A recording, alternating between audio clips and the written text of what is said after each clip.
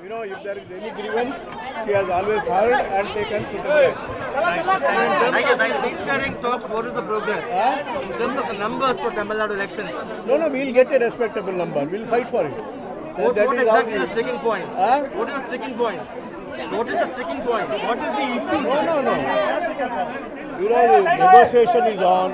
We are for a Congress for fighting for respectable number, which can keep the cadres moral, uh, the cadre very high, and uh, we are very sure that they will also realize because you know there is a need for the consolidation of the secular forces in Tamil Nadu, which can be done only with the, you know, it is the when secular cadre is concerned to keep the DMK and its alliance on a strong flank. The Congress is the main pillar. Are you okay with Rajya Sabha seats? Pardon? Are you okay with Rajya Sabha seats? No, no. This is mainly we are facing now the assembly election. It is a necessary to defeat the forces of divisive forces, which the you know the NDA led by the BJP is trying to gobble up the real democratic federalism in the country. And you know the Tamil Nadu is always a big platform, strong platform.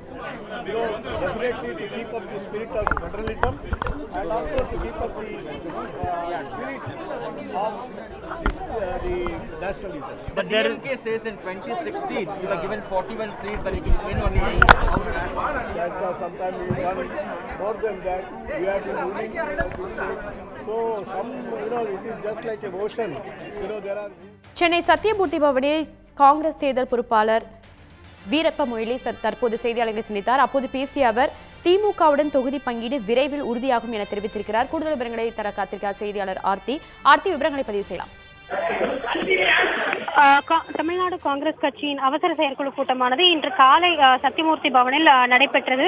ஆஹ், இதில் ஆஹ், தமிழ்நாடு காங்கிரஸ் கட்சியின் ஆஹ், தலைவர் K S அழகிரி ஆஹ், மேலிட பொறுப்பாளர் தினேஷ் குண்டுராவ் மற்றும் தேர்தல் பொறுப்பாளர்கள் வீரப்ப மொய்லி பல்லம் ராஜு ஆகியோர்கள் கலந்து கொண்டனர். நேற்று திமுகவுடனான கூட்டணி மற்றும் மற்றும் தொகுதி பங்கீடு குறித்து மாநில மாவட்ட நிர்வாகிகளிடம் கருத்து கேட்பு கூட்டமானது நடைபெற்றது.